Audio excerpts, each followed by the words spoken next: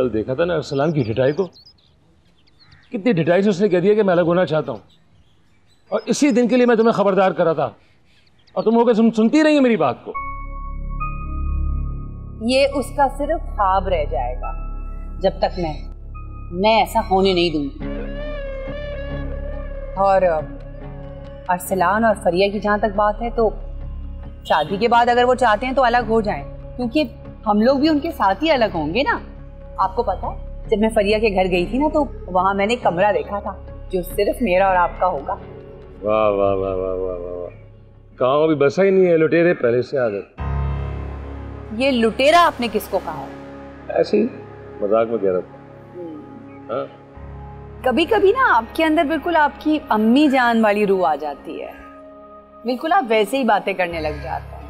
हाँ तो सारी बात है मैं उनका बेटा हूँ और जिसका बेटा हूँ तो उनकी हरकतें तो मेरे अंदर आएँगी ना।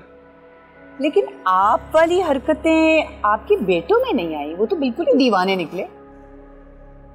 अगर आप फजूल बातों से फारे हो गई हो तो असल बात पे आए अब ये सोचो कल को अरसलान और सामिया ने यही बात दोबारा से कही तो क्या करना है? क्या करना है?